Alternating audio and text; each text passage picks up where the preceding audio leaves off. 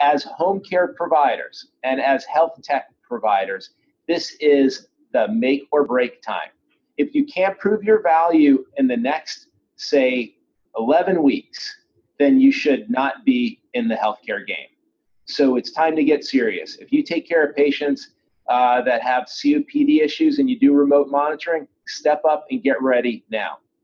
If you take patients as they come out of the hospital, get ready to take patients that are likely to be uh, more complex, that have greater challenges, and step up your game to provide high quality, safe care at home. That's what we should be planning on. Who are the partners? Obviously, hospitals that want to uh, reduce the number of patients in their bed to get ready to take on more care. Uh, healthcare payers, we're hearing from the largest health plans to say, hey, we know that it's going to get constrained. How can you help us move patients through the system?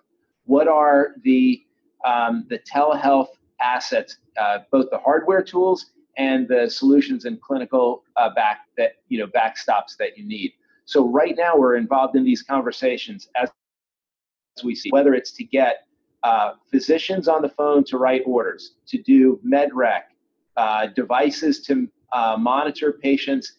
At least what I need is a telephone and somebody with a thermometer. It doesn't have to be the most uh, incredibly complex, but I need to be able to manage patient's symptoms and care from a distance. If they could have a pulse ox and a blood pressure cuff, I love it. If it's all connected and I'm getting the data feed, even better. But we're talking about basic blocking and tackling. Today, we don't have uh, a surge and a spike that we can't handle. In five weeks from now, in nine weeks from now, I think it's going to be a lot different.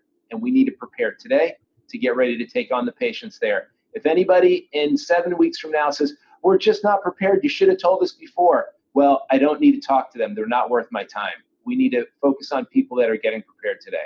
Bruce, I'm so fired up now. I can't even believe it. I'm like so fired up. All right. Listen, so- listen, Jessica, you know you're a major part of this community. You bring people together and you convey very important information.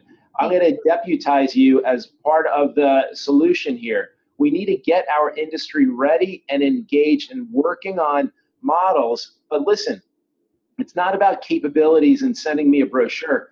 I need to have pricing. I need to have capacity. I need to have coverage maps. I need to know what inventory looks like. Yeah. And one uh, vendor tries to gouge at this time, I will put them in health IT hell for the rest of their existence. It is not the time to take advantage of this situation. Oh. Time to help people that need help in this nation.